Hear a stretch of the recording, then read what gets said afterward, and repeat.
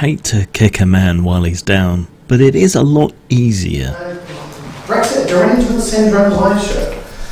The, the accursed affliction of an affluent and. So I'm not actually going to talk about what's currently going on with Brexit, I'm going to talk about what's happening around it. There's a bunch of problems with Sargon's approach to Brexit denialism, failure to seemingly make any kind of point or provide any kind of reason why it's a good idea, just some vague, emotional, feel good stuff about sovereignty, which represents a, a misunderstanding of it. But I think immediately on the title of this talk, we can see a huge problem that he's facing.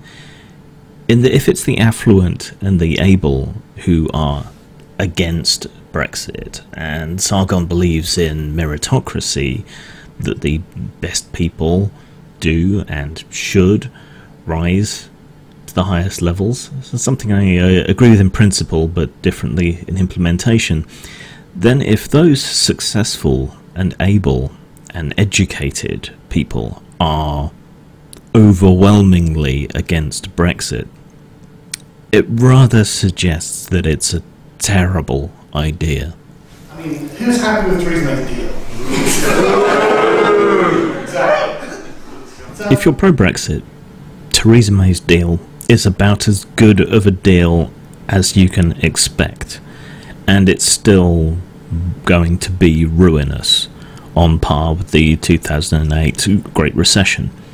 Whereas crashing out with no deal will be two to three times as bad. Conservative estimates suggest that 10% of the economy will be lost over the next few years if we went through a no deal Brexit. May's deal is also the only one with even a rat carcass in Battersea Dog's Home chance of getting through. and there is actually something called Brexit anxiety disorder, at least according to two scientists who spoke to Politico. They say that uh, far from being hyper-rational, observers are concerned with only what's economically sensible. Instead, they've morphed into the Remaniacs of Brexit disdain. They are acting no differently to what psychologists would expect from those suffering from chronic anxiety caused by a loss of control and insecurity, two professors say, one from the University of London and one a clinical psychologist. They apparently have slipped into polarizing in and out groups, seeking solace in the demonization of the other, with whom they blame for the current state of affairs. Fear and anxiety can be rational responses when you're under threat.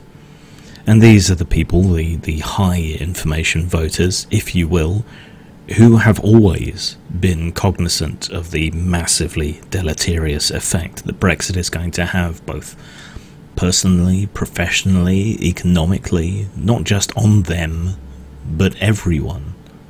And yeah, they have more to lose than a lot of people. They're in a position to better exploit the opportunities that the EU has represented, but they're also not the ones who are actually going to suffer the most. That is going to be the poor and working class of Britain, as this may well push us back into austerity. All the EU development money will dry up, and if you think the Tories are going to invest that in rundown industrial northern areas, then uh, you got another think coming. Business, academia, and not even soft academia, science, technology, all of these arenas are all lined up against this, as are most of Britain's biggest employers, particularly the automotive and the service sectors. Fear as rational, distaste for people who have made an emotional decision to leave is understandable also. From the said, it's broken the social contract. We all paid the taxes which propped them up, and now they've gone and fucked us. so fuck them. They're fine, but they're screwed. That's the kind of inconsistency that they're talking about. They fucked us, we'll be fine. There's a huge gulf of a difference between being fine and prospering. All they mean is that they're in a position better equipped to weather the storm than this surge of emotion led, nationalistic, working class and underclass outrage. But that that's all they mean. Because the people who are going to be fucked the most by Brexit are the people who voted for it, ironically enough. This isn't entirely their fault.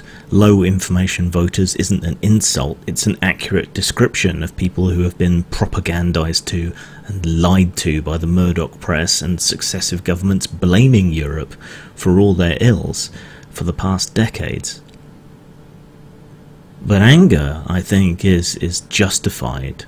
It's just a little unfair, perhaps, but it's still understandable. At another gathering, uh, senior figures laugh and joke about uh, the stupidity of the country voting to leave. Brexit was like a cancerous tumour which had to be surgically removed from the EU. One prominent official said, in Westminster's bars and restaurants, MPs often talk of the catastrophe, the humiliation, and the nightmare inflicted upon them. I have one response to this.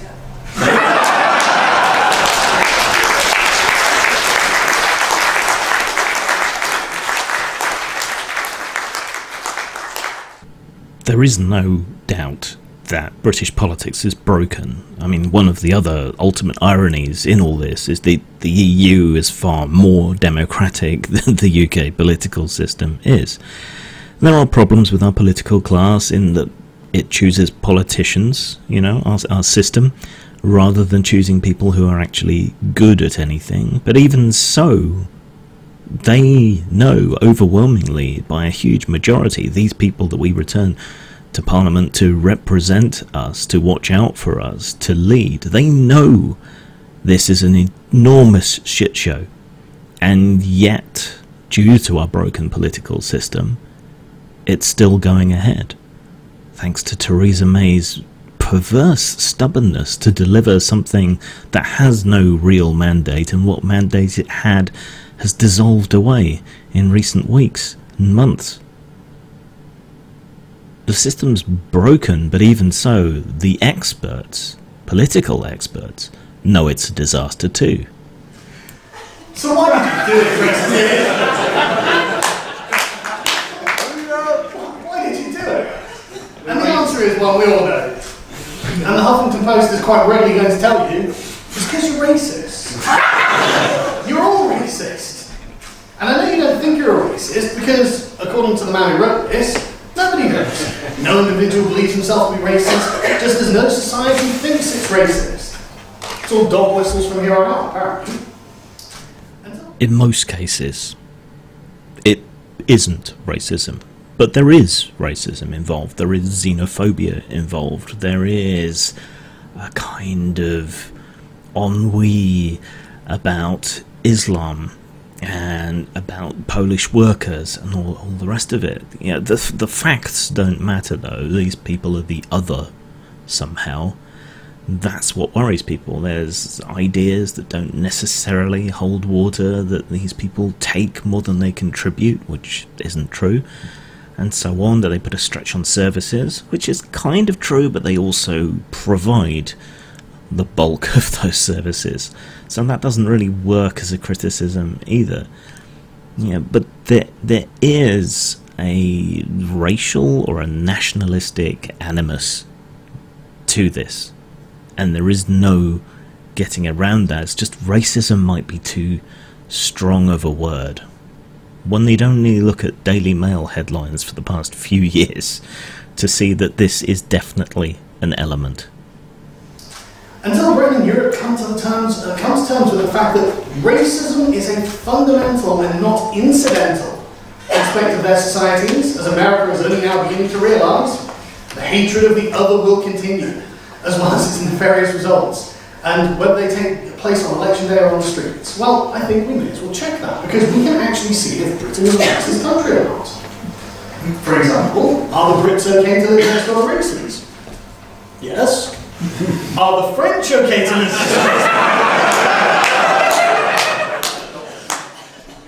Not the French. On the surface of it, this seems like, like a good point, but this is generalized for the whole country. Britain is very much concentrated in its urban centres, and these are much more multicultural, and these are also places where people have far less problem with the idea of immigrants or, or mixing with other races and so on.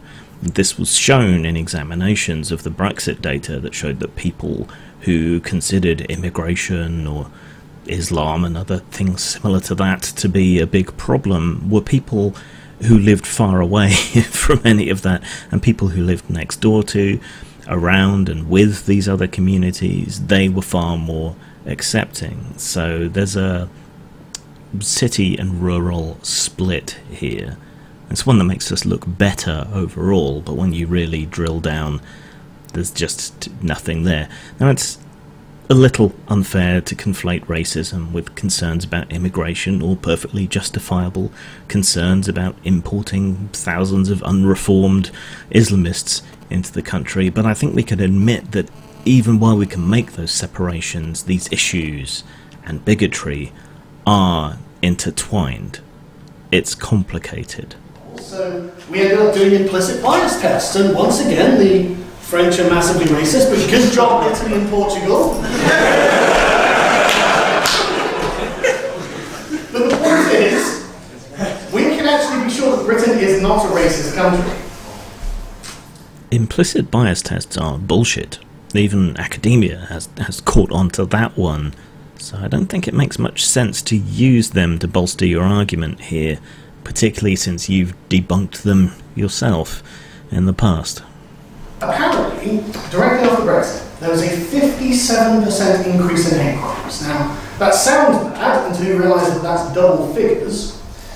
33 whole reports in 72 hours. It's a catastrophe, the country will never be the same. Yes, that's a, a bad argument, the statistics aren't terribly compelling in terms of numbers and so on. Anecdotally, though, there are plenty of reports of various people being made to feel unwelcome, nothing that would rise to the level of a crime, and of course, anecdote is not data. But there's a sufficient whiff about the place, one I've personally encountered, even for non EU immigrants, that I think there's there's um there's smoke here at least. So why do people actually vote for Brexit? Sovereignty. Actually, I think it's one of this. So they actually vote for Brexit because of the Three Musketeers here. on your, I suppose, the left, um, no, on your right, sorry, uh, we have Alexander Macron, the Fuhrer of France. Considering the extent to which the jaunes has been infiltrated and steered by the far right, comparing Macron, a fairly liberal, fairly progressive leader who was trying to put through environmental measures, comparing him to Hitler seems a, a trifle distasteful. Now, why do people vote for Brexit? Someone shouted sovereignty.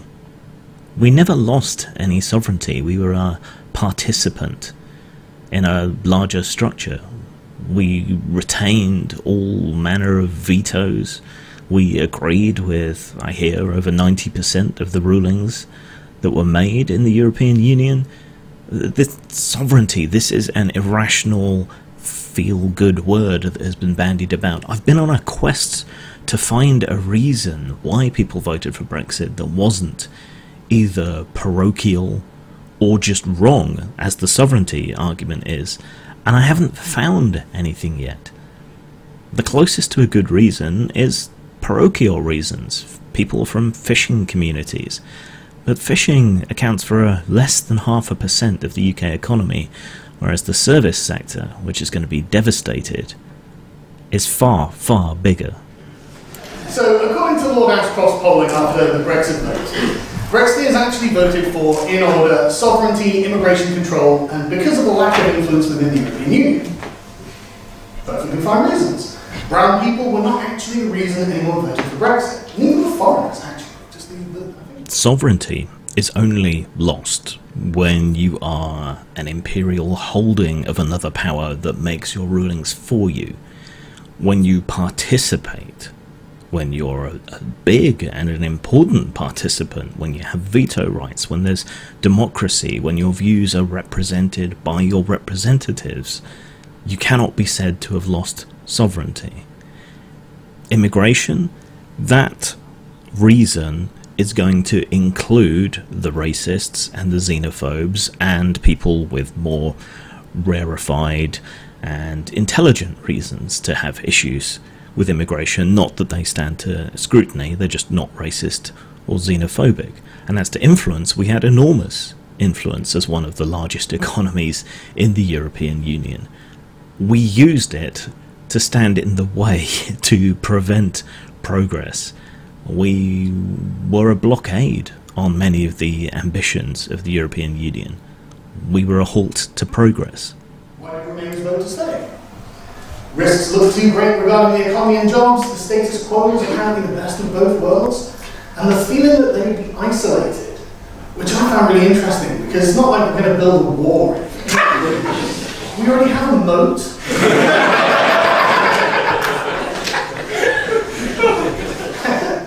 If you compare the reasons given for remain to the reasons given for leave, you'll see there is a stark contrast between the two. The reasons for leave tend to be first order thinking, uh, reflexive, reactionary. I don't like immigrants. I don't think we have enough of a say. I think we're being ruled over. None of these are true. None of these are really rational, that they're feelings based. Whereas you look at the reasons for Remain and they're pragmatic, they're practical, they're more intellectual, they're broader, they are second order thinking. It's worth just briefly pointing out on the immigration issue that we have always had control over immigration from Europe. We've just chosen not to use it and then to blame Europe. How the Remainers? Not well. In fact, the, mass middle class protests have been a prime hotbed of cringe. You can see by the lady here emoting.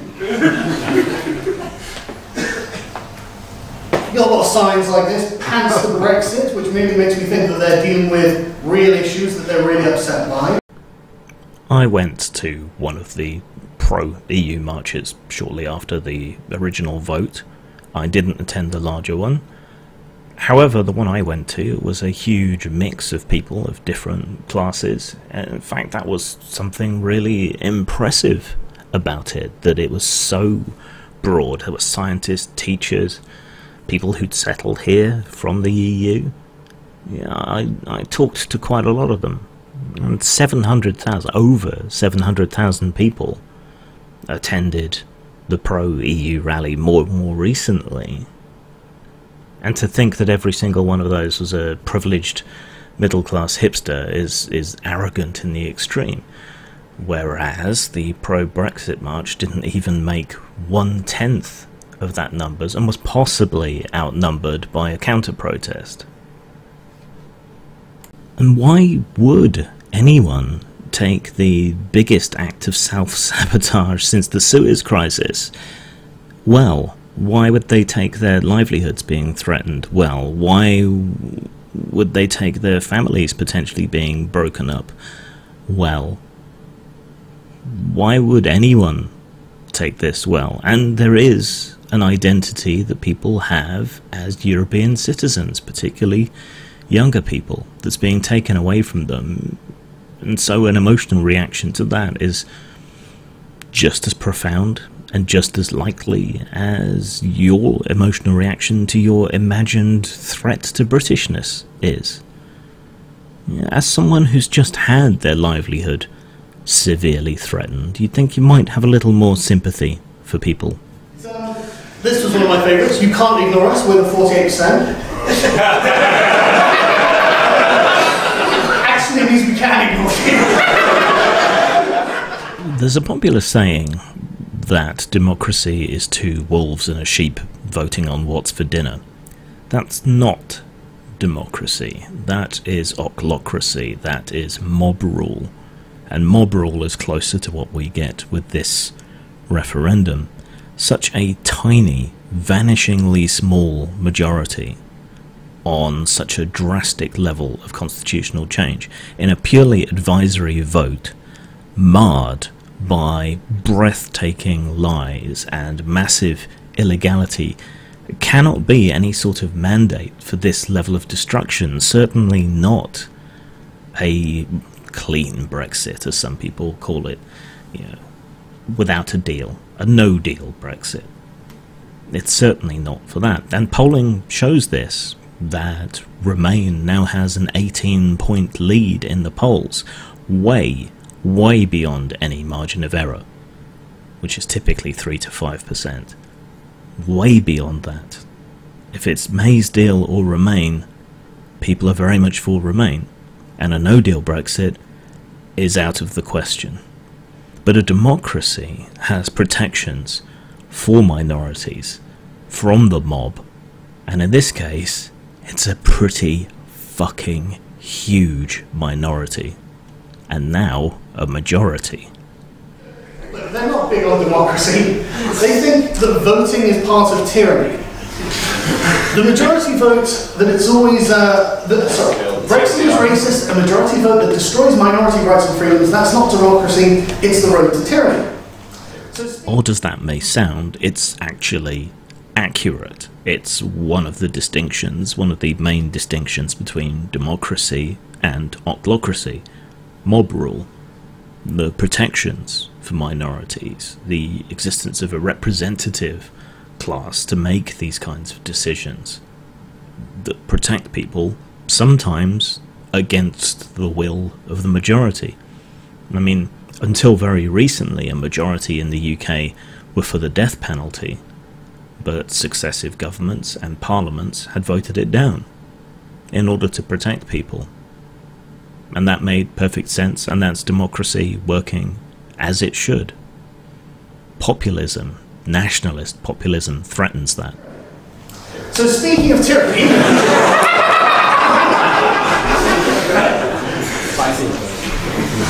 what exactly are we escaping? Well, we're escaping an economic project. I'm not convinced that locking oneself away in one's room with one's toys, much diminished amount of toys, it must be said, can really be called escaping from anything, and the EU has always been more than just an economic project.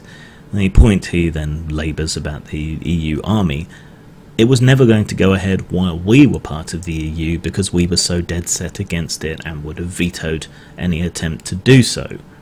Now that it looked looks like we're leaving, they're pressing forward with that. And does that make sense? Yes, as a cost cutting measure. I don't know why people find the idea of a European army sinister any more than they find, say, NATO sinister. Uh, it saves money, saves logistics, saves all kinds of issues, and that means more money for everybody. Why not just become a major sovereign power. I mean, you're going to be an for that kind of thing. If you want to become an empire, which Guy Verhofstadt called for in 2016, and the French finance minister reiterated this month, why are they using the term empire? I mean, if I had to hazard a guess, it's because English isn't their first language and because the terms that we have for multinational, international groups coming together don't necessarily apply that well. Alliance doesn't really work. Federation, perhaps, if we get to that point. Community, maybe. And none of these have the kind of pomp and weight and appeal to history and nostalgia that the idea of empire does. Now, I think that's a dangerous thing to be invoking. I don't think they should be using that term. Just look at how Brexit has been empowered by British nostalgia for empire, which has led us to ruin just as it did in Suez.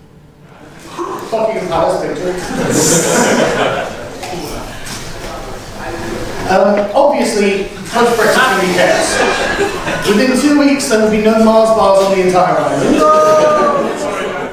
He cherry picks a whole bunch of somewhat hyperbolic examples here, but it's quite hard to be hyperbolic about how awful the aftermath of a no deal Brexit would be. And again, there is consensus amongst everybody in the know that this is going to be the case. Kent turned into a lorry park, everyone agrees, government's made provisions for it. The NHS is now the single largest, highest purchaser of refrigeration units in the UK at the moment, which has made a rather nice Christmas for refrigerator manufacturers. Why? Because they're stockpiling perishable medicines in case for no deal Brexit. Supply chain will be broken down. Everything will be uncertain. Flights may be stopped. The costs of doing business will immediately go up. So it's not Project Fear. I mean, we've got cabinet ministers who are pro Brexit preparing for the worst and pumping another two billion pounds into preparation. Troops on the streets. Yeah, this is going to be awful if it happens. So, um, but of all the terrible fates that befall this country, surely the cancellation of Love Island is going to be the most painful. And I I say, good input, Jess Phillips. That was her point. Look, these are risible and it is easy to make fun of them, but the reason for these stupid examples is that people, reporters, are trying to make the effects of a no deal Brexit relatable. It's all very well saying, oh, 10% of the economy will, be wiped out. What, what does that mean to the average person? Not a great deal. But if you tell them that the price of strawberries is going to go up because there will be no EU pickers from Romania or Poland to come and pick them, and Brits won't do the work at a, at a, low wage, or if you tell them that the supply chain disruption means they might not be able to get their particular favourite food, that's something people can relate to and understand and latch onto in exactly the same way as a lot of the bullshit stories about European regulation caught on. You know, the whole bananas thing that was bullshit in that case. Anyway, Mervyn King, the ex-governor of the Bank of England, thinks that we should just take the 39 billion and do a runner. and he said this back in 2016.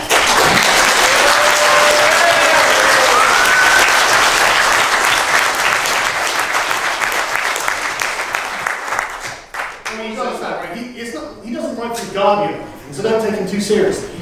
he said this back in 2016, which is pretty impressive, because it looks like that's what we're going to get. And according to the head of the World Trade Organization, it's a good idea because apparently Brexit's not really going to cause any problems. But again, what does he know? The Guardianistas know more. Yeah, what what do they know compared to a couple of cherry-picked people? Guardianistas. oh, and the TUC, and most MPs and all the former prime ministers and a coalition of tech firms and the NHS and the banking sector as a whole and the automotive industry as a whole and the service sector as a whole and leading and important agricultural bodies, the education sector, Mark Carney and the and the Bank of England and on and on and on and on. But you've got two people and Trump, so I, I guess that makes all the difference. I think that uh, turning going to so he says, free from EU rules, Britain will automatically revert to world trade using the rules agreed by the World Trade Organization. It works pretty well for Australia. So why on earth would it not work just as well for the world's fifth largest economy? Well, you're in dire straits indeed if you're looking to Tony Abbott for advice on anything.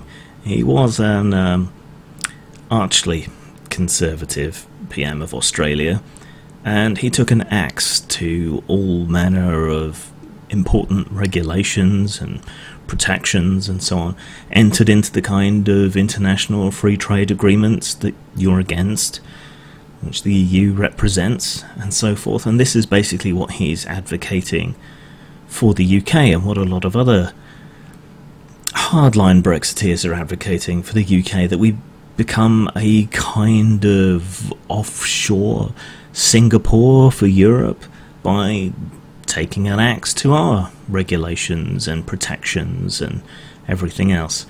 And Singapore, for all its bright, shiny, modern, and clean, isn't really a model of freedom for the world. We have everything that we need to go forward. We just need to be brave enough to tell Europeans to get fucked.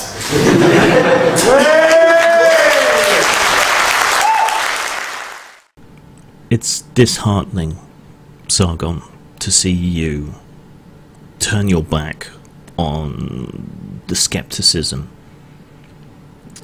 that made you what you were originally. To see you slide to the right, don't think it's entirely your fault.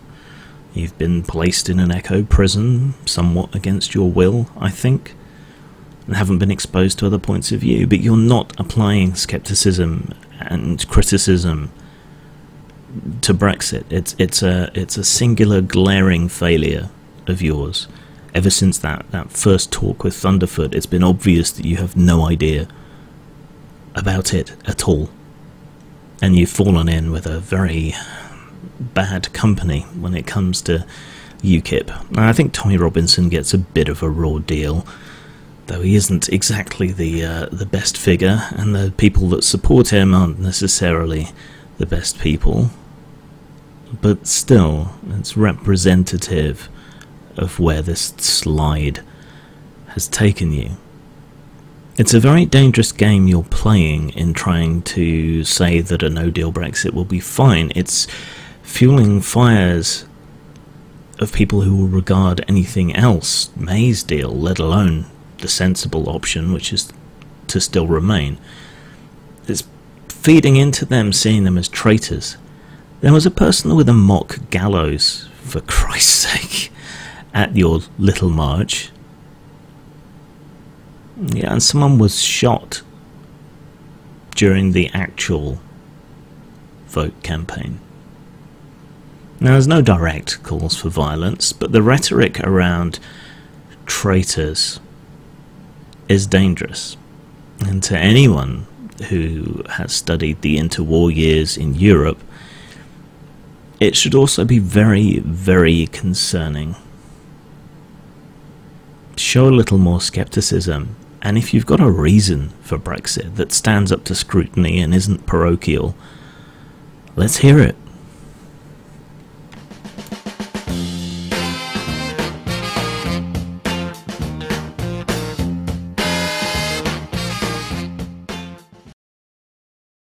I didn't write any jokes about it in case I couldn't use them in the show and monetize the work I've done, right? So I haven't written any jokes about Brexit because I didn't see the point of committing to a course of action for which there's no logical or financial justification.